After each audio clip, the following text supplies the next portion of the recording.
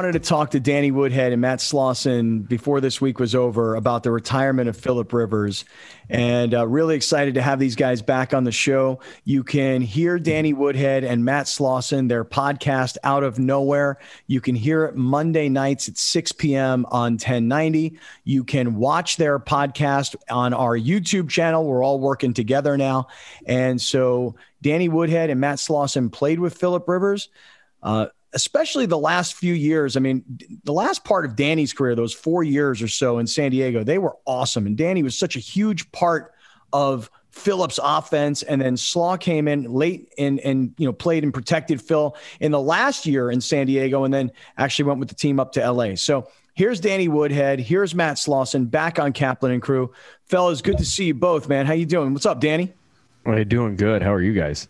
Uh, we're good, man. Thank you very much. And nice. take take a look at your boy Slaw here. He knows that we wanted to see what was going on in his barn, his studio, his gym. Slaw, what do you got? What do you got going on there, dude? Well, this is my swing lab, uh, swing lab slash uh, weight room slash just escape from life, family, kids screaming. Uh, Bro, it looks come- like you have a stroller over there. It looks like I you have do. a stroller in that bedroom. Like, are yeah. you are you guys that, gonna have another kid? No, no. Well, if we have another kid, then I got some serious questions for my wife because it isn't possible anymore on my end. Same with me, dude. I know. How many kids you got, Slaw? I got three. How about you, Danny? We have four. Yeah, me too. So when I got to number four, I was like, snip, snip. This thing's over, man. Yeah, you call it quits. Yeah. That's what you do. You're not a like I'm one to preach, you know, like let's not ever quit. Like just never quit. That's that's kind of something in the house. Like you're not going to quit. Uh, we're quitting. like like the, that's that's one one uh, area where you're allowed to quit. Well said. So let me get you guys. Um, let me just get your opinion right away. And I know Browner and Grande are going to want to jump in too. Um, I got the calls like, "Are you shocked Philip Rivers retired?" I'm like, "Not one bit, man. The guy's got nine kids. Guy wants to be a high school football coach. Guy wants to live that small town life. Um, good for him. He's making this decision on his own. By the way, can he still play? Of course. You know, could somebody pay him 20 plus million to play? Absolutely. Could he have gone back to Indy? I would think so. So I'll, I'll throw it to you guys. Danny, you first. Uh, were you surprised at all, or what's your opening thought about Rivers retiring? I don't know if I was surprised. I mean, obviously he could continue to do it, like you said. Like I think that's pretty evident. I mean, I, we've seen even late in his career, like some people are like, "Oh, but he threw picks." It's like, no, Philip just he's going to go down swinging, and that's why some of the picks happened. But I'm I'm not surprised though because I'm su- there's some of me that thought he might have wanted to go, give it one more year, but I am not surprised that he wants to be done. I mean, his his kids are getting older. He has nine of them. Uh, his his his main goal is to be the best, you know, husband and and dad. So like, th- it's not shocking. He just wants to spend more time with his family, and I think that's great. I think he's going into a life now. Like I always say this, hey, when you get on the other side of the NFL, that's when you know how fun life is. The NFL's amazing. Wouldn't take anything away from my 10 years. But man, life just started once you retire. And I, th- I think he's probably looking forward to that. Boy, it is good to hear you say that. You know, you could probably really help so many other former NFL players who don't understand what you do, that life is better after, you know, um, because I think, you know, go ahead. Well, I think so many guys get lost afterwards. I, I think the thing is, there's a lot of people that that's their worth, you know, is football. And, if if you make that your worth, your number one thing in your life, yeah, it's it's going to be tough. Like you can make it super important. Like football, like I always say, I hope people viewed me as someone that was, um, you know, had a passion to play the game and wanted to win and yada yada yada. But that's not who I was as a human being. I, I was the I mean my faith is my number one and then you know my family football is a third like because that was my job and I think you're you're going to see that with Philip. And but a lot of people they they put their whole lives just into that, and then when that's gone, the the number one thing that makes them go, people get lost, and and it's very hard. Yeah, that's what I'm saying. I mean, you, your perspective is is so different than so many others. Hey, hey, we're talking to Danny Woodhead and Matt Slauson. You can hear them Monday night on 1090 at six o'clock. You can see their show on the Kaplan and Crew YouTube channel. Although I think we're going to be changing that pretty soon to the Great Friends Podcast Network channel. And hey, hey, Slaw, what do you think, man? What, what was your first thought when you heard that Rivers retired? You played with him the last couple of years. Yeah, um, you know, I really appreciate Danny uh, stealing all the material to talk about. Uh, so get it out of the I, way. So I guess I can just duck out of here really quick. Uh, no. um, uh, to touch quickly on what Danny was was talking about in retirement, uh, you know, Dan, Danny helped helped me out tremendously because retirement is not not easy. It's not an easy transformation. You know, physically, emotionally, um, uh, coming home, being with your wife day in, day out, day out. It's an adjustment for both both sides. And because Dan, Danny was sort of a year ahead of me and everything, uh, getting to uh, he he was a sounding board for for me, and that was that was really help help help helpful. But back to the Philip thing. Uh, honestly, I was surprised. Um, surprised and a little bit disappointed. Um, you know, I love Phil. I, I, I think he's incredible player, as we all do.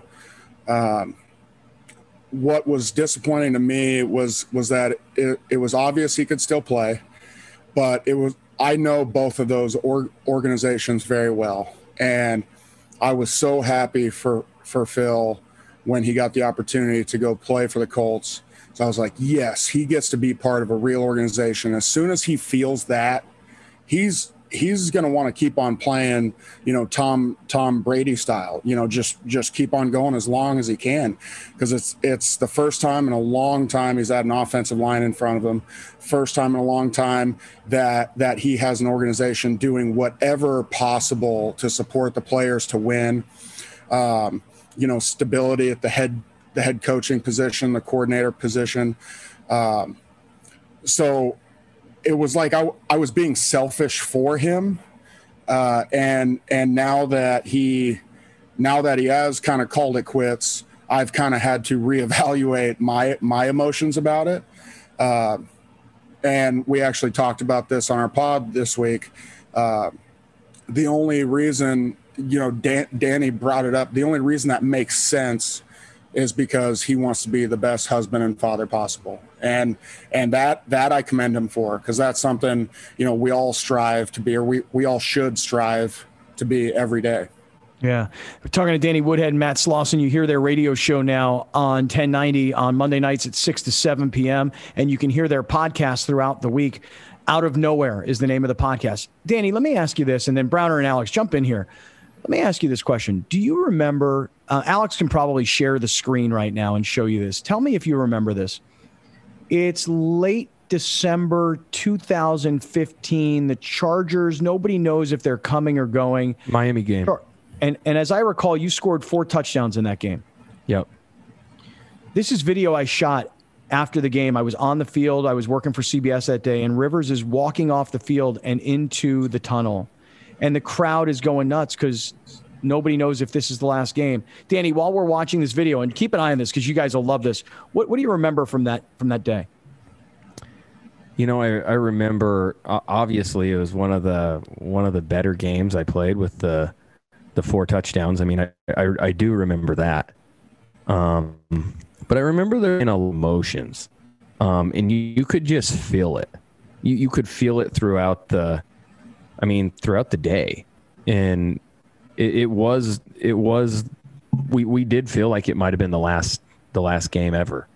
Um, that was a it was a awesome experience because even me who was that was only in year th- I think that was my third year there, and I had I made a lot of memories there in three years, and I couldn't imagine what you know E Dub and and and Phil and all those other guys E Dub as in Weddle and and even Hardwick down there. Um, he wasn't playing at the time, but like he was emotional because you also did see how even though there were times, you know, when we weren't that great, we, we weren't getting a, a, a great turnout uh, fans wise and just the talk of, um, you know, moving. there there was a lot of emotion, and you could tell the city of San Diego loved us, and we loved them back. Um, even though there were some weird times because the stadium, new stadium wasn't built, yada yada yada. Um, but there was a lot of emotion. I remember a lot of guys. Um, I mean, it, it. I don't want to say taking it hard, but it, you look at Phil and, and Weddle, like they had been there their whole careers, and it was a long time. And um, it was a it was a pretty cool day, though. I will say, even though we thought it was the end, and it didn't end up being, it was still pretty cool to be a part of it. And in my eyes, it still feels like that was the last, you know, the last Charger game there. Yeah. Yeah. yeah me and Browner talked about it because we were actually at the final Charger home game against the Chiefs the next year, and it was polar opposite Terrible. of that video. it was dead. The Chiefs yeah. won. It was just like it was just no emotion. But when it go going back to Phil all week, I don't know if you guys have done this, but NFL Films released best of mic'd up Philip Rivers. And that's obviously yeah. what the national media loves to talk about, how he never curses, but he's still an all time trash talker. Question for both of you guys is when you're in that huddle and when you're when the other guys are across the line, how is it when Philip is going after these guys? Is it as clean cut as everybody says? I think it is. But like how is it to see it in action, Philip just going after everybody every game? uh, do you want me to answer first, Slaw? I'll, I'll, I'll, I'll give a little something. He, uh, it's, it's funny. Um, and, and you're just like, so me, I was egging it on. I loved it.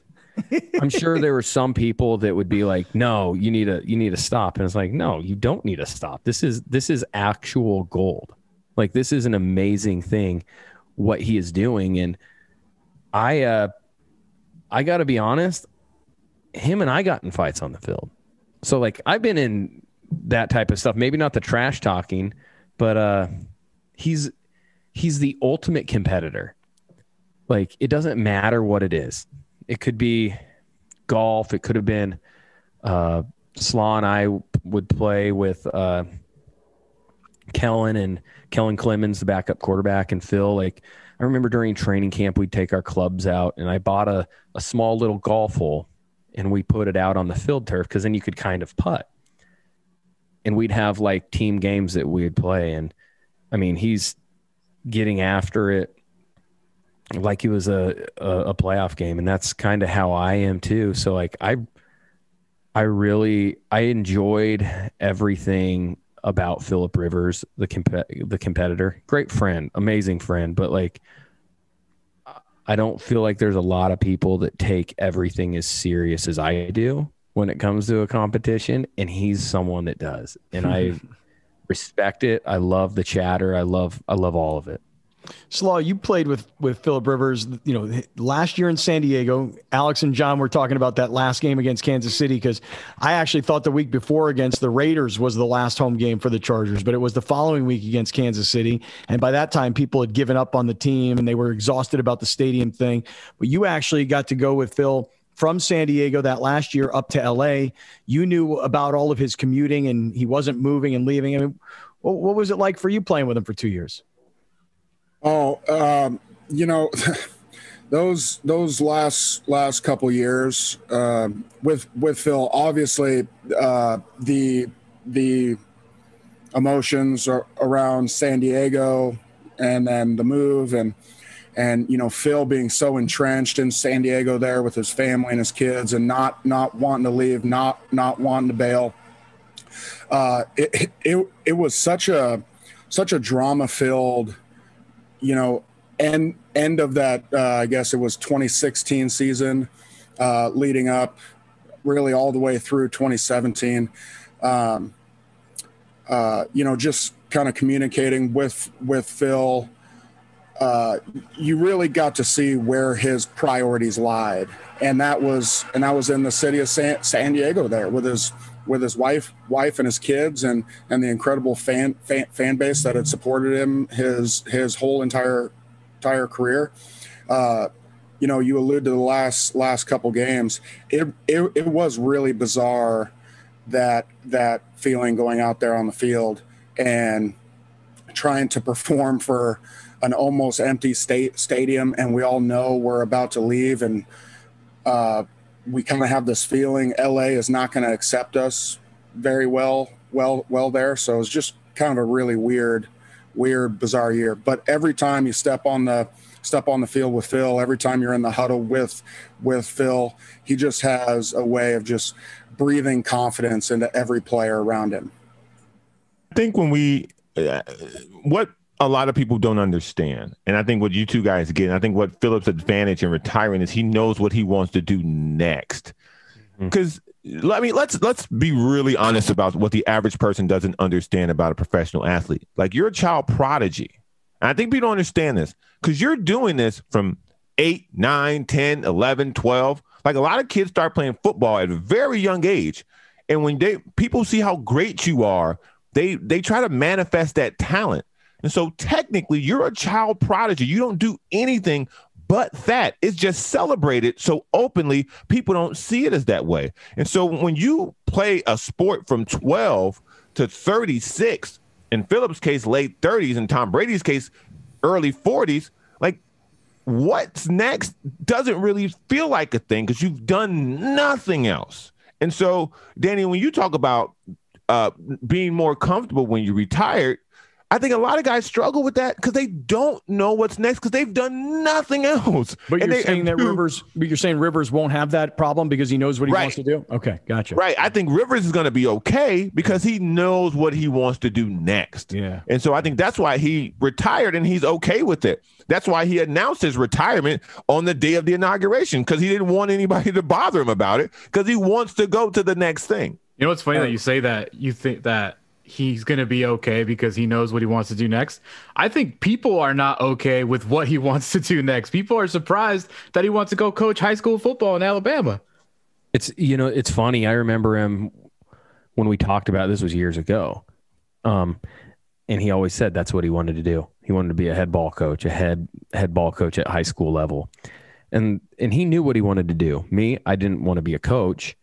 Um but I wanted to I wanted to get as good as I could at golf.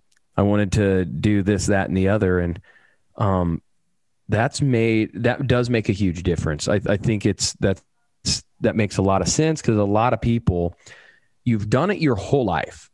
Like Slaw was talking about it the other day. I played, I don't know, 26 years of football. Some somewhere in that range. And it's like that's most of my life. Mm-hmm. Right? Like, what so like, do you remember for both of you guys? What do you remember before football? Like, I don't, I, I, don't, I don't remember anything because yeah, I started at like third grade. I third or fourth grade. I have, I have no idea. Like, because like, what, what do we remember younger than? No, football was always in my life in some capacity, and even before that, my dad was also, uh, he was a high school football coach. So like, I was around it anyways. Like, football was always a part of my life. Um, and I think that's that's that's something that's really key is knowing what to do. But I think also just my, my parents always preached to me like, hey, this is not everything in your life. And so I, I will say I had a head start in that, knowing like, hey, when you're done, there's still some there's other things that go on. This is not who you are. Yeah, you're a man, and and Slaw knows this, and and some people know this. Phil's faith is huge, so that's not who he is as a Philip Rivers as a football player. He's he's Philip Rivers. Um, you know, his faith is number one, and then he's Philip Rivers, a, a, a friend, a dad, a, a husband, and and I think that's really important because the thing is with the NFL and with the fame that we we get, deservedly or undeservedly, um, it's different because you're always known and it's if you can be okay with not being known that's the biggest thing. And, Ooh, and yeah. and i think that's the biggest thing right wow, there that's really interesting. Hey we, we got to go. We're, we're running out of time unfortunately. We could spend all day with you guys and we'll look forward to listening to you on monday night. Real quick slaw who you take in afc and nfc title games? Who you got?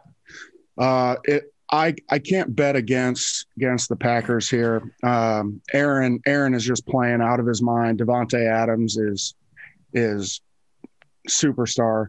Um, you know, it's it's tough because throughout my career, it sort of got ingrained in me to never bet against Tom, mm-hmm. uh, just because he always finds a way. But but in this capacity, being up up in uh, up in Green Green Bay, I'm not worried about Tom playing in the cold. I'm worrying about the rest of Tampa's team playing in the cold. They aren't mm-hmm. they aren't going to be able to adjust adjust to that. I I don't think.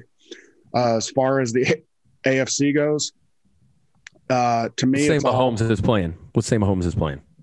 If he's playing, I think, I think it's the Chiefs. I do. I think with their experience, uh, you know, they've had obviously much more recent experience going all the way.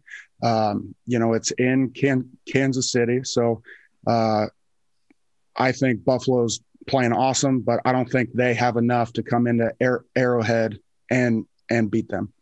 Danny, you got a quickie for us? What do you think? Yeah, AFC, I, I, uh, I think uh, it's hard to go against Tom. I'm going Bucks. Me too. And and I'm even if Mahomes is healthy, I'm going Bills. Me too. Um, I, I, I, I think I think I think the Bills' offense is so good, and not a lot of people talk about it, which is fair because they're in Buffalo. Like, who wants to talk about Buffalo um, when when the sexy pick is Patrick Mahomes? But I think it'll be a good game in, in both games. I know I got both road. I mean, look at me, look at me. I'm all about sexy.